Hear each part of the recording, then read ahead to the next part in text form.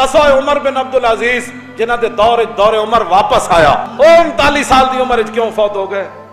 انہوں نے پتہ سی جڑا درد میں لے کے، امت دا درد سر تے آپ دی بیوی یہ روایت کر دیا کہ جد عمر بن عبدالعزیز شادی نماز پڑھ لیندے سن نا، پھر مسلح تے بیٹھ کے روندے سن۔ تے میں کہتی سی، کیوں روندے ہو؟ انہوں نے کہا، ممکن ہے میری سلطنت تے کوئی بھکھا ستا ہوئے۔ پھر حالانکہ آپ دی سلطنت تے بھکھا کوئی نہیں ستا۔ ہاتھ دین والے، حسن لین والا کوئی نہیں سی۔ اٹھ صوبے میں جو زکات واپس آ گئی۔ آپ دا قلم بھی عدل کردا سی۔